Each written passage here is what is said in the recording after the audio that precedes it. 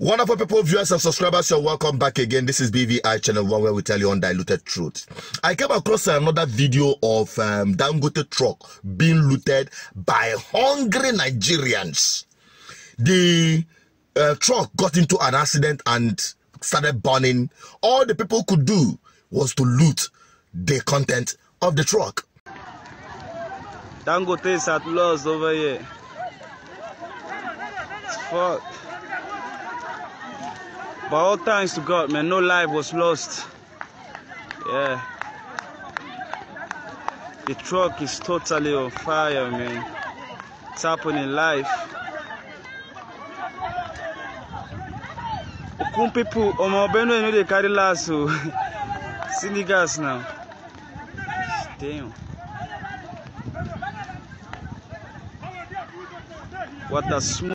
And while I was watching these videos, down on the comment section, you see people saying, oh, it is good, it's happening to Dangote, that there's, there's starting money from people, and uh, cement is high, and all of those nonsense. Let me tell you, none of the money there or the goods there belongs to um, uh, uh, uh, Dangote. Those goods have been paid by innocent traders in Nigeria, and you can guess whom they are. Igbos, more especially.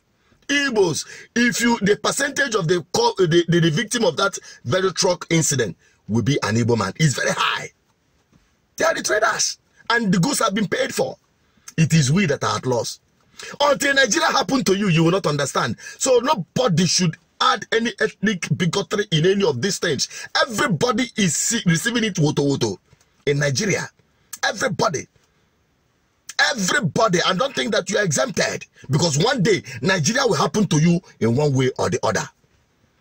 Talking about the trucks even most of those trucks are not even owned by dangote. Some of them are not owned by dangote himself. Okay? So when you talk about these things don't rejoice when your fellow victim of nigeria is suffering nigerian impunity because it is bad governance that begats this Come to think of it, years in the back, do you think this thing will happen? No, this thing doesn't happen. It is because we are now in a zombie country, animal farm, where it is either you eat or you get eaten. That is the law of the jungle operating in Nigeria, not the Nigerian constitution. So don't allow Nigeria to happen to you. And you can start that by sharing this video. Let us all escalate this and let Nigerians wake up and stop being victims of bad governance and reject this invocable, corrupt, personified political class that are ruining your life. They are not ruling you. They are ruining your life. All right? So help me share this video. What's your take on it? Drop it on the comment section. And let's have your opinion on this. Bye-bye for now.